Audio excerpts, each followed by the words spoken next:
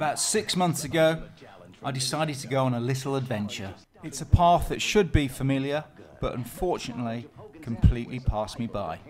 As a kid growing up in the UK, I had access to the ZX Spectrum, the Commodore 64, the MSX, the Commodore 16, and personally owned an Amstrad CPC. I can't personally speak for anybody else, but I didn't know anybody that owned an NES.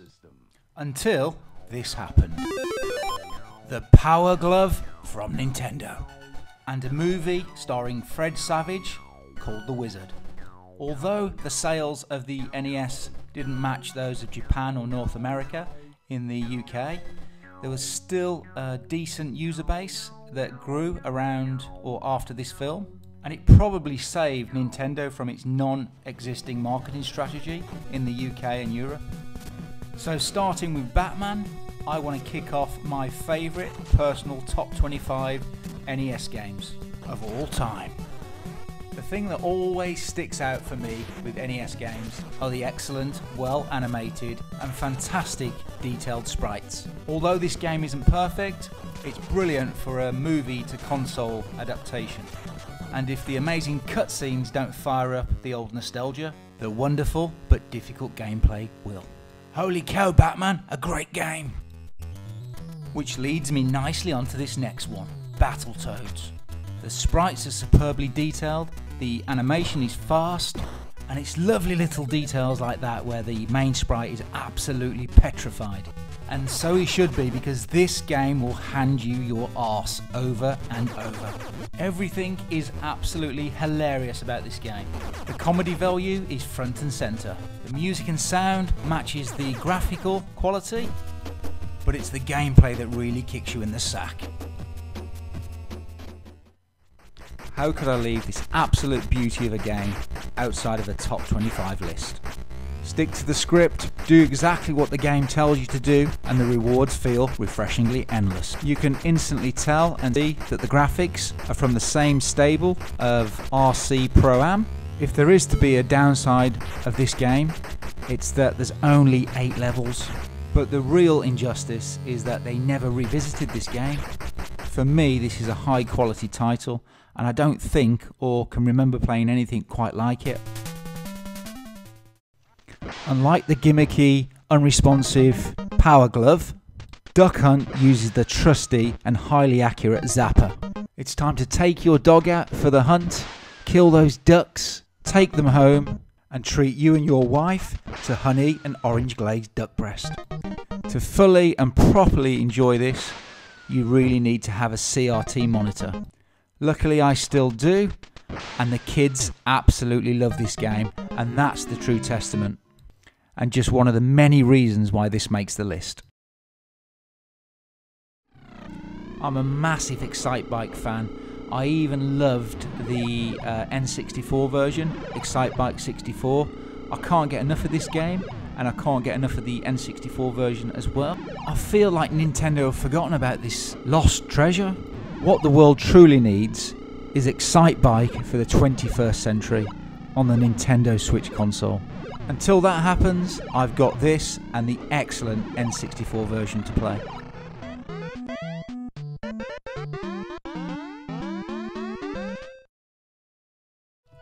Still can't get used to the fact that this game is known outside of Europe as Gradius.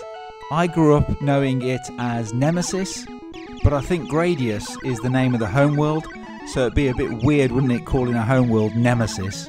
It's a shame that only one player can play at a time, but what saves this is the sheer amount and variety of enemies and those big, massive end of level uh, bad boys. Also, in the arcade game, players could carry up to four options, but due to the technical limits of the NES, here they can only have two.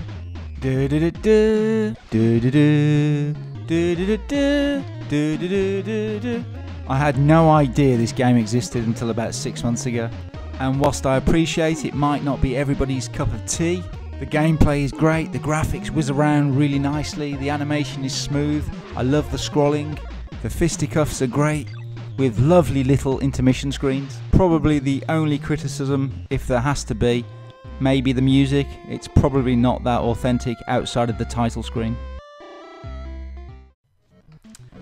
Man, I've played this on probably every system outside of the arcade. I had it on the Amstrad CPC, I've played it on the ZX Spectrum, the 16-bit Atari ST and Amiga, uh, but this version for an 8-bit is absolutely unbelievable. It's bloody annoying that Super Sprint never came out on the NES, but thank goodness this is available because it more than makes up for it. It's also a great two player game as well, and although I've heard some people criticise it for being slower than the coin-op, at my age I quite enjoy the slower pace. Jackie Chan's Action Kung Fu might be the worst name for a game ever, but this is anything but a bad game.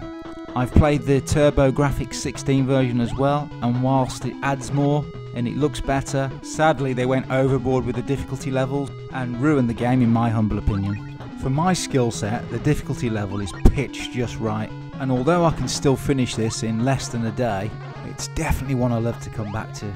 Everything for me looks and plays absolutely amazing, and the graphics look fantastic. One of the best arcade games ever had a sequel called Track and Field 2, and it's one hell of a button masher. It's the summer, it's warm, and you're playing in the Olympic Games. You've got the horizontal bar, hurdles, archery, canoeing, uh, hammer throwing, taekwondo, pole vaulting, skeet shooting, diving, swimming, uh, fencing, and my favourite, the triple jump. The two player option escalates this beyond the norm.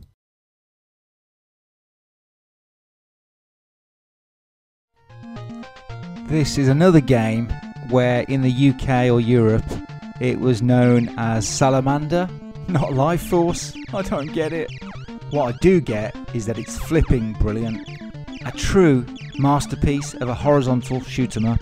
Interestingly, this game features in 1001 video games you must play before you die, a book written by Tony Mott, chief and editor of Edge magazine. But this seriously ranks amongst the elite of NES games. Does anybody remember playing with their marbles? I remember at school we played marble toss and marble match. I think we even played marbles on drain covers. Well, this one is more than just a trip down memory drain. It's just as much fun today as it was back in the day. It might come across difficult when you first play it, but it's one of those games if you stick with it, you'll quickly realise it's worth a roll. It's fun to play with a friend, and it's an excellent arcade conversion to the NES. I just wish there was more.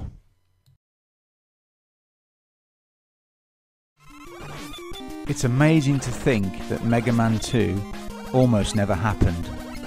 The original game wasn't the success story they hoped for, so game creator Keiji Inafune had to work on it in secret and on his own time. Mega Man's creator considers Mega Man 2 to be his favourite Mega Man game ever. Although it doesn't sound like a lot today, Mega Man 2 sold over 1.5 million copies worldwide. If you're new to the NES, hunt this one down, you won't be disappointed.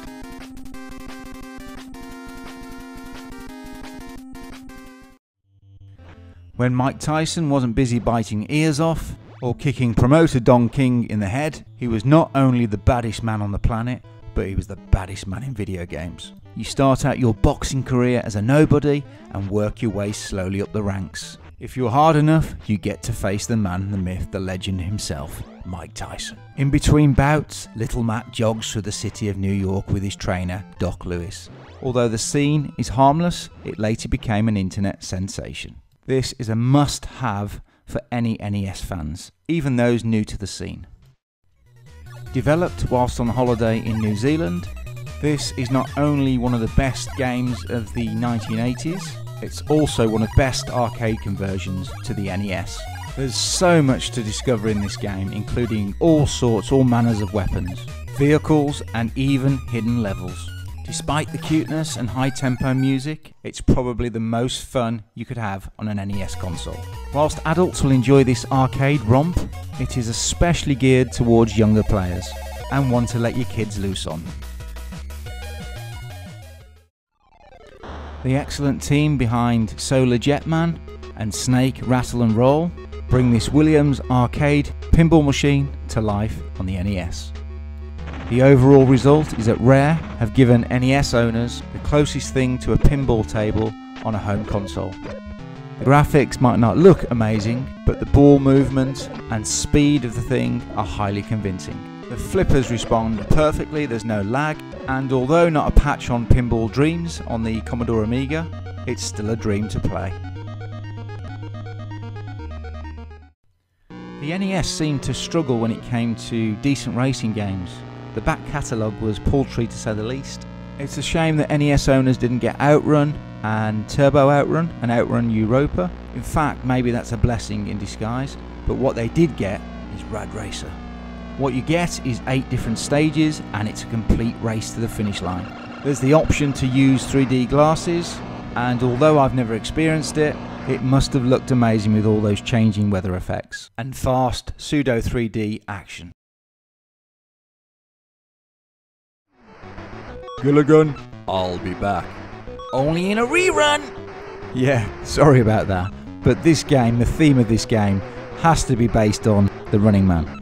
Yes, I know it's based on Robotron originally, but it features all the slaughter and over the top shenanigans of the movie. The advertisement that came with this game was absolutely over the top. But what it did reveal is that you can play this game with two controllers. But more importantly, it included a fantastic two player mode. This really is the game show for your NES. Another game to feature in the book 1001 Video Games to Play Before You Die. It doesn't surprise me as this is one of the most original concepts I've ever played. The gameplay just overflows, oozes with quality. The comedy value comes from its relentless toilet humour. I'm not going to lie, I absolutely love this game.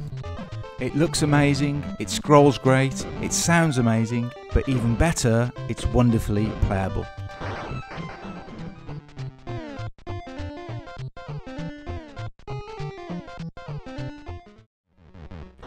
Solar Jetman on the NES is simply one of the best games I've played. It's a mix and reminds me of Oids on the Atari ST and Thrust on the Amstrad CPC. It's an absolute fantastic game from Rare, another one in fact.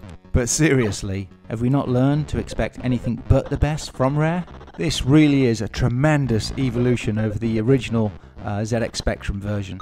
And the great thing as well about this game is there's a password option as well, so you'll never have to revisit or go over the same old ground. I've heard so many complaints about how difficult this game is on the NES. Anybody who thinks that, go play The Empire Strikes Back or Return of the Jedi on the Super Nintendo. Better still, go and play Super Golden Ghost. Now that's difficult. Now, silly talk aside, this is an absolute fantastic game for the NES. The graphics are brilliant, and presentation feel almost 8 bit Oscar nominating worthy. One of my favourite games on the NES, and one I still come back to to this day. Now, I've heard that Famicom version is the one to pick up, but as I've never played it or experienced it, say no more. For me, it's an absolute classic, a stunner of a game. Is it the best shoot 'em up on the NES? I couldn't tell you. All I do know is there's some staggering power ups and it's really fast. But more importantly, it's bags of fun. But it's the two player option that steals the show and is the icing on the cake. I remember this one when it was first released. It came with a shiny gold plated uh, cartridge. I sold it for a pretty penny about six or seven years ago. Shigeru Miyamoto, I nearly swallowed my teeth saying that, is not only probably the best game designer of all time, he's kept the franchise alive until now, and the innovation involved in his games uh, is just unbelievable. But what's really special about this game is it was the first ever game on the NES to feature a battery pack uh, save game feature, and it sold over 8 million units. I can't be 100% sure, but I think Wrecking Crew was a launch title for the NES. Again, I'm late to this game, but it's an absolute joy to play. It's really addictive. Features Mario and Luigi, it's got plenty of levels to keep you going. The graphics are fantastic, and the sound and music is suitably Mario and Luigi. The only thing I can add is that it's a solid game and I refuse to ever stop playing it.